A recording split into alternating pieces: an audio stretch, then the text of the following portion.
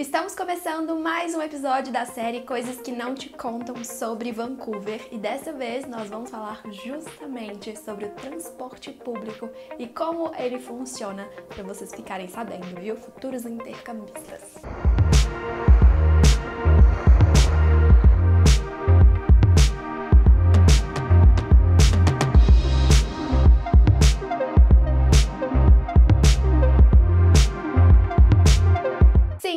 É, o transporte público em Vancouver é um pouco carinho, assim, mas como se diz, quem converte não se diverte, mas a gente precisa pagar os boletos, então a gente converte sim, obrigado. Antes de mais nada, uma primeira coisa que você precisa ficar de olho quando for escolher a sua acomodação no intercâmbio é que caso você escolha uma casa de família, host family ou também homestay, né?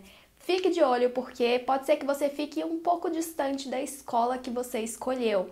Pois é, então o transporte público vai ser sim o seu melhor amigo no intercâmbio. Não vai dar para fugir disso, viu? Por exemplo, eu fiquei em uma homestay que ficava a 45 minutos de Vancouver, era em Richmond. Então, sim, eu precisava andar até o ponto de ônibus, pegar um ônibus, depois pegar um Skytrain, andar mais um cadinho e chegar na escola. É isso. Tem um vídeo aqui no canal em que eu mostro o meu primeiro dia de aula, em que o host brother nos levou até a escola, mostrando, indicando o caminho, qual era o transporte, e assim a partir do dia 2 a gente já foi sozinho. Mas vamos lá, né? Beleza, Skytrain Bus. O que, que é isso, né? Claro que você tá falando, não tô entendendo nada. Pois é, é um pouco diferente aqui, né? Por exemplo, em Minas a gente tem o metrô, que não é trem, é metrô. A gente tem o trem, tem o ônibus, tem aqueles ônibus pequenos, nananã. Tem esses tipos de transporte e lá em Vancouver é um pouco diferente. Depois eu vou contar pra vocês quais são os transportes assim diferentões que tem por lá mas é interessante que vocês entendam um primeiro ponto, que são as zonas que existem dentro de Vancouver. Eu vou mostrar para vocês em um mapa que existem três zonas. A primeira é a mais central ali, onde fica Vancouver mesmo. Depois tem a zona 2, que foi onde eu fiquei, e uma zona 3, que é ainda mais longe. Então, dependendo da zona em que você estiver, o seu preço ali do seu cartão de ônibus, né? Ele varia um pouco. Então, como funcionam essas zonas? Vamos supor que você vá para Vancouver também e você não fique em Downtown Vancouver, você fique, vamos supor que você esteja em Richmond, como eu. E aí, como vai ser? Qual vai ser a zona que você vai ficar? E aí, como funciona? Você vai cair na zona 2, que foi a mesma zona que eu fiquei. Na zona 2 é como se fosse aquele, aquele desenho de matemática que a gente tinha, que era uma bola aí depois vem outra bola e depois vem outra bola. Pois é, quando você tá na zona 2, quer dizer que a, a bola da zona 1 tá dentro da sua zona. Então você pode ir na zona 1 e na zona 2. Quando você estiver na 3, é como se você pudesse também ir na zona 1, na zona 2, além da 3. Então você vai incluindo mais zonas ali para você. Vou explicar as zonas para vocês como funcionam. Então temos aqui a zona 1, a zona 2, que vem essa parte toda aqui em volta de Vancouver, e a zona 3. Então, cada uma delas tem também uma linha diferente. Então, por exemplo, eu ia para Richmond, então eu pegava o Canada Line para chegar até lá. E aqui, ó, tem a Millennium Line, que é essa amarela, tem a azul, que é a Expo Line, e tem essa que é a do Cibus. Vamos supor que você fique um mês em Vancouver. Eu recomendo que você pegue o passe mensal. Isso significa que você vai poder usar o transporte, qualquer transporte ali que você for precisar para ir para a escola, por exemplo, durante um mês inteiro. Então, você, diferente aqui do Brasil, por exemplo, em Belo Horizonte, a gente tem o vale, a gente coloca o dinheiro nesse vale e aí você pode usar até seis passagens, por exemplo, por dia. Lá não tem isso, não tem limite. Você pode usar quantos você quiser durante um dia.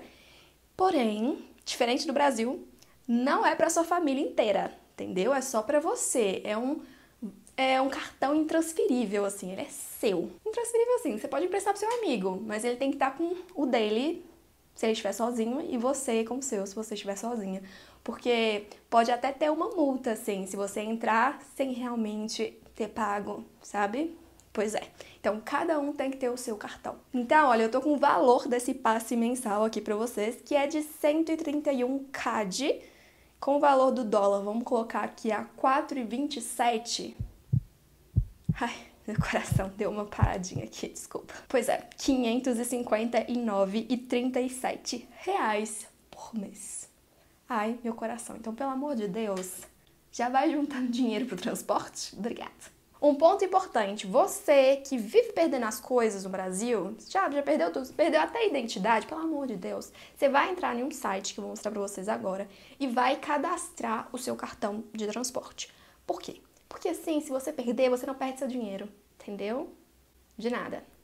A minha dica para você, assim que você pegar o seu Compass Card, é você vir no site, né, compasscard.ca. Então você vai aqui e registra o seu Compass Card. Então você registra ele aqui, porque caso aconteça algum problema, tipo você perder, você ser roubado, sei lá, você não perde o valor do dinheiro que tem no, no seu Compass Card. Então eu recomendo que você venha aqui e cadastre o seu Compass Card, beleza? Se você não sabia dessa do cartão, manda aqui nos comentários, hashtag Ana me salvou, só pra eu ficar sabendo. Vamos ver então os outros preços, assim, para vocês entenderem quanto é esse, por exemplo, se você quiser usar só um dia, né? Porque se você ficar em uma residência estudantil, normalmente elas são mais próximas da escola que você escolheu. Então, às vezes você pode ir andando para a escola se você quiser. Então, vale a pena ver quanto custa esse passe diário, né? Porque às vezes você não vai precisar do passe mensal.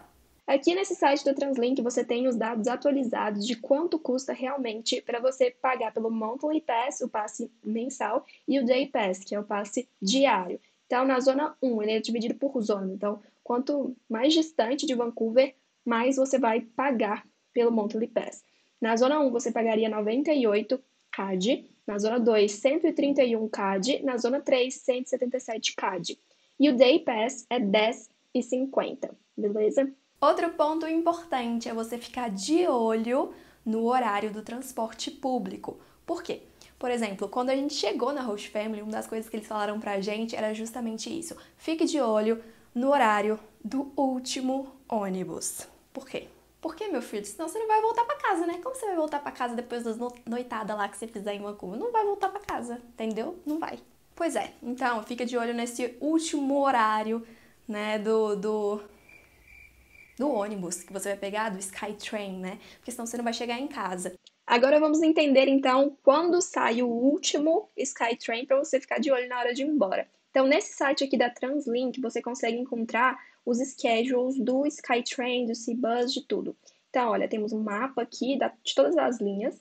Vamos supor que você pegue também o Canada Line para ir para casa. Então, olha, aqui dentro do, do Canada Line, você vai encontrar First and Last Train, que é quando sai o último trem. Então, vamos supor que você esteja ali no, no em downtown você vai pegar esse de Waterfront para Richmond Brick House.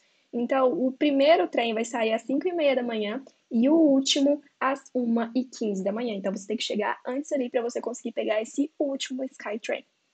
Vale lembrar que, geralmente, a gente chega na estação lá em Richmond e pega um ônibus até a sua casa de família. Então, fique ligado aí nesses horários, porque, poxa, se o último sair 1 e 15, qual que é o ônibus que você tem que pegar lá para chegar na sua casa? Até que horas que ele vai? Para você, às vezes, pegar o último Skytrain não tem ônibus. Então fica de olho nisso também para casar os dois. O outro intercambista que ficou na minha host family, por exemplo, ele sempre voltava das noitadas de Uber, porque não tinha mais ônibus para ele, né, moço? Não tinha mais ônibus. E aí, olha, eu recebi um comentário quando eu tava falando sobre transporte público, que era justamente assim. É, da Lisa esse comentário. Ela falou: Quando eu fui, ia para as festas em Canby, não sei se eu tô pronunciando certo, e tinha que correr para pegar o último ônibus de downtown para os outros bairros. Acho que era 1 e 10 o último horário. E o ônibus ia bem cheio, sempre me senti muito segura lá. Então ela tá falando que, poxa, ela saía para as noitadas dela, mas ela sabia que por volta ali de 1 e 10 era o último ônibus que saía, ele ia lotado e ela ia segura para casa. Então, Fica aí a dica. Tem outro comentário aqui, ó, da Isabela. Uma vez voltei de um rolê com os amigos, já era 10 da noite, pra mais. Eu morava em New Westminster. Não sei se eu tô falando certo, gente. Hoje eu tô terrível. A sensação real é muito diferente do que estar no Brasil, mas eu tinha medo das estações Skytrain que eram no subsolo, de ficar sozinha lá. Esses dois comentários foram de quando eu tava falando sobre a segurança, né, fora do país. E a Isabela, esse último comentário é da Isabela, ela falou que se sentia segura, mas não no Skytrain ali nas estações. Vou falar para vocês um pouco aqui das dos tipos diferentões de transporte, então é bom que a Isabela já iniciou esse processo. O primeiro transporte diferentão que temos aqui, como a Isabela mencionou, é o Skytrain. O que, é isso, Ana Clara? Train? Pois é, vamos em partes. Sky, céu, train, trem, né? Bora lá. Então, o que acontece? Os trens que a gente normalmente vê, eles ficam em trilhos baixinhos, tranquilo. Só que esse é Skytrain, então os trilhos deles são mais altos, então eles ficam, tipo, a avenida da cidade está aqui embaixo e eles ficam em cima.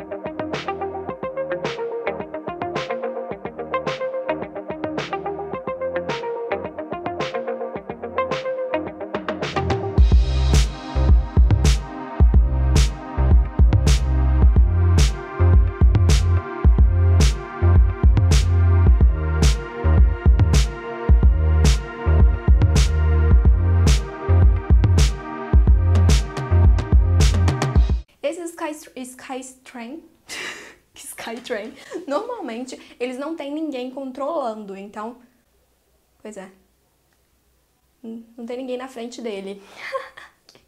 Reconfortante, né? Pois é, não tem ninguém lá controlando, mas eles andam tranquilamente ali por Vancouver. E é bem legal, curti muito andar de Skytrain, eles são bem pontuais também. Quando você pensa assim, poxa, Skytrain, que incrível, eu vou passear pela cidade vindo daquela vista maravilhosa. Pois é, assim, eu não queria te desanimar. Se você for pegar a Canada Line, que era que eu pegava para ir para casa, o Skytrain, na verdade, é subterrâneo. E você não vai ver nada lá de baixo. Teve uma pessoa que me perguntou sobre o Compass. Então, quando você usa o Skytrain, você tem que passar, dar o tap in e o tap out. Tipo, quando você entrar, você tem que passar o cartão e também quando você sair. Esse não é o que eu vou pegar, esse é o Expo Aí eu tô indo até o Canada Line, que é o que vai pra Richmond. Só que quando você tá de ônibus, você só tem que dar o tap in. Você não precisa tap in. Você não precisa passar de novo o cartão pra sair. Então é isso. Vamos lá que eu vou pegar o meu agora.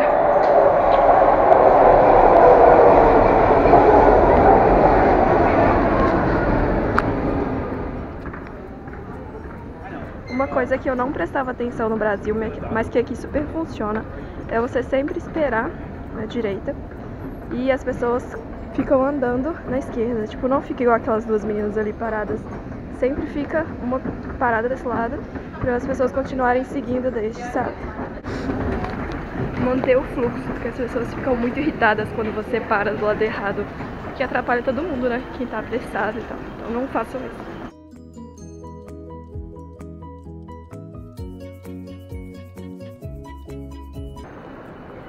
Eu acho essa estação a mais bonita de todas, olha. Ela é muito bonita. E agora eu tenho que vir pra cá, ó, tá vendo? Ali em cima, Canada Line. É onde eu tenho que pegar o meu Skytrain.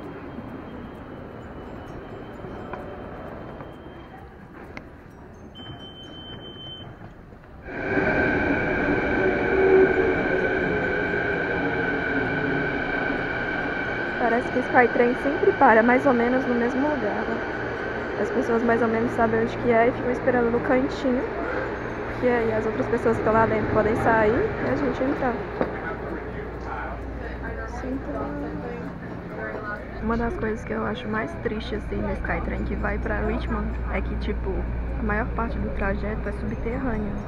Então você não vê aquela vista linda de, de Vancouver, sabe? Se você for em outras linhas, você vai ficar mais tempo em cima, mas no cada Canada Line você não fica. E eu fico estressada com isso, porque faz muito barulho, olha.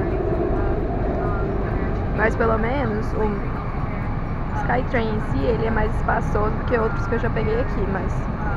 Sério, olha, não tem vista, você fica vendo as pessoas de dentro. Isso me irrita tanto. Daqui a pouco vai sair, eu mostro pra vocês.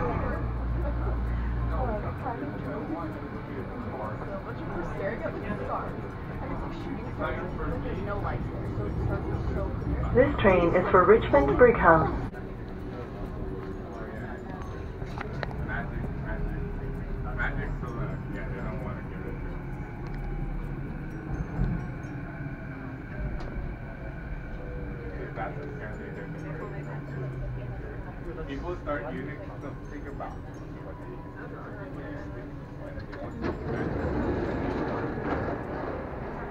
Eu sempre olho ali pra ver se o ônibus tá chegando.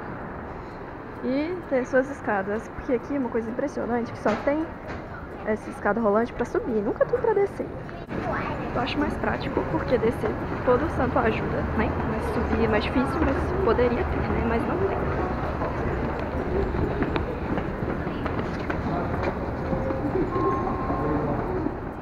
A minha estação dá de cara pra um shopping, esse Aberdeen Square. Mas quando eu fui lá, eu só gostei de uma loja que tinha umas coisas muito baratinhas lá, mas não conheço as outras, né? Essa pizza aqui também é muito, muito boa. Só que teve um dia que eu fui tentar colocar ketchup, só que na verdade era pimenta. Então, uma experiência ruim aí, mas por que eu fui tentar colocar ketchup de uma pizza italiana? Então, mas vamos lá. Aqui é meu ponto de ônibus. Então eu fico esperando aqui até o ônibus aparecer. Aí geralmente forma uma filinha aqui, sabe? Aí dá pra gente ver o horário aqui. Por exemplo, agora são 7h26. Então, 7h27 vai passar, então pelo menos daqui uns 3 minutos ou 2 vai passar um, ou já passou, né? Mas eu acho que tá vindo lá atrás. O ônibus já tinha passado aquela hora, mas eu acho que ele tá vindo agora.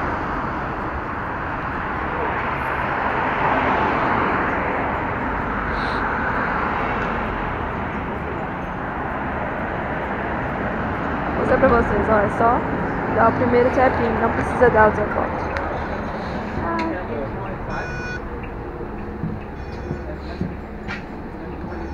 E um segundo meio de transporte incrível em Vancouver é o Seabus. Seabus. Pois é, já consegui imaginar, né? É tipo uma balsa que passa ali na água de um lado pro outro. Então ela te leva ali de downtown pra North Vancouver. Então, já viu, né? Não usei, mas eu claro que fui pegar só pra falar que fui, entendeu? Andar no Seabus, exatamente.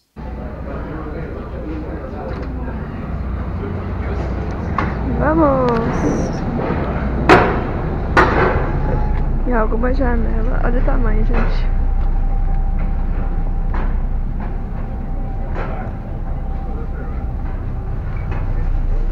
Ah, ótimo lugar que você escolheu, amor. Olha o tamanho, gente. Muito grande. E o Mo, claro, já tá entrando na internet, né, amor? Que aqui tem internet, então. Vamos entrar. Já fecharam as portas. Agora vamos, vamos lá. Tem um cara olhando ali. Ó, tem uma, um videozinho passando na televisão. Começamos a andar, gente. Tem tomada. A moça acabou de conectar o celular dela na tomada. Chocada. Tana!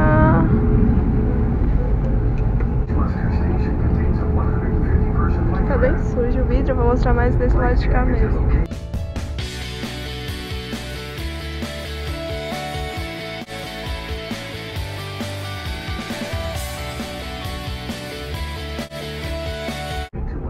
E ali, gente, lá do outro lado é o Stanley Park. Tem vídeo dele no canal. Olha o tamanho dele. Tá vendo? Essa parte toda aí de árvorezinhas. Tudo em Stanley Park.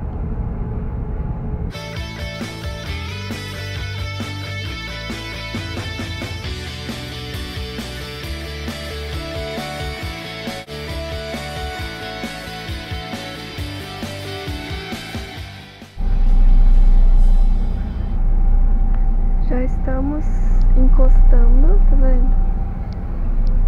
Quanto tempo demorou gente Eu acho que 12 minutos. 12 minutos. Foi muito, muito rápido. Ah, diferente, passei.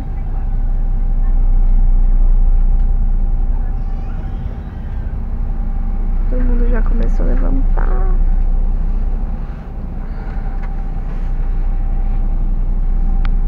A gente tava lá do outro lado.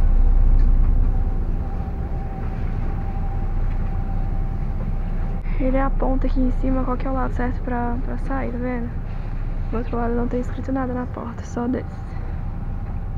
Ei, eu tava doida pra fazer esse passeio porque eu fiquei curiosa, né, amor, pra ver o que era.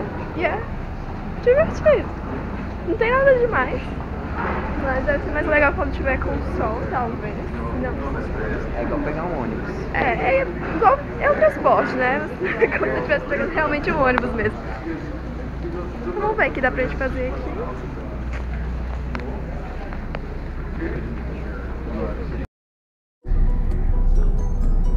Quem correu aí pra não perder, hein, amor? a gente terminou de comer. Aí tava faltando 20 segundos pra sair esse. A gente correu. Conseguimos. Agora a gente tá de frente. Welcome aboard the Sea Bus.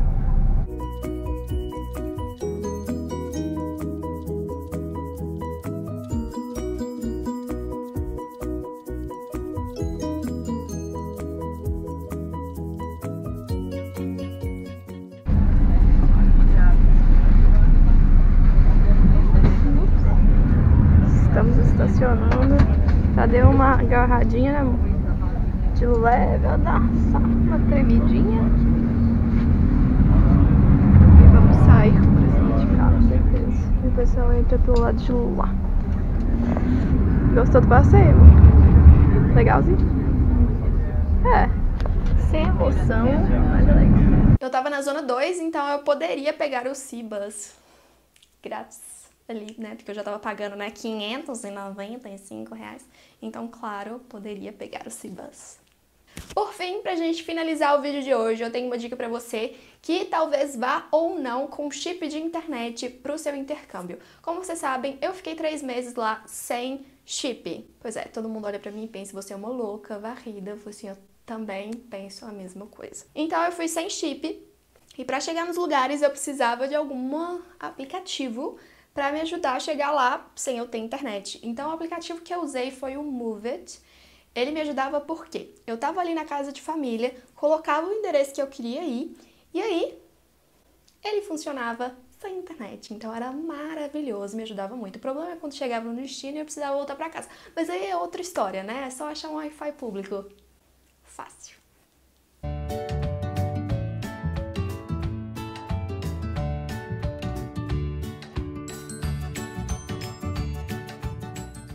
A gente tá usando um aplicativo que chama Move It. E ele fala quantas estações faltam, quantos pontos, quando é o caso de um ônibus. E é muito fácil de usar, então eu recomendo. Ele não usa internet, ele só usa o GPS do celular e ele vai te falando em que parada que você tá, em quanto tempo. É bem legal.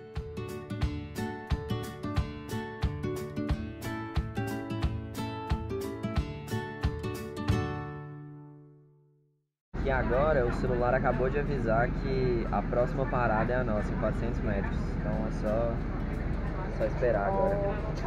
Mesmo sem internet.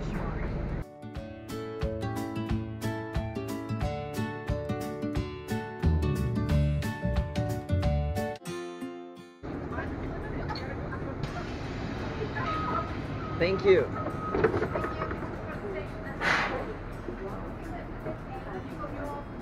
Necessário mudou pra caralho. Não era eu não. Guarda-chuva. Estou. Pra onde agora? Calma. Calma. Não dá pra saber não. É pra onde? Pra lá? Não sei. Eu fui a vibe. Seguir a vibe? É, acho que é aqui. Deixa eu ver. Tô seguindo a vibe. Errado no caso. E agora, se você estiver super conectado aí, o Google super vai te ajudar. Então, se joga no Google Maps e é sucesso. Espero que você tenha curtido esse terceiro episódio da série Coisas que não te contam sobre fazer intercâmbio para Vancouver. E até o próximo vídeo. Beijo! Tchau, tchau!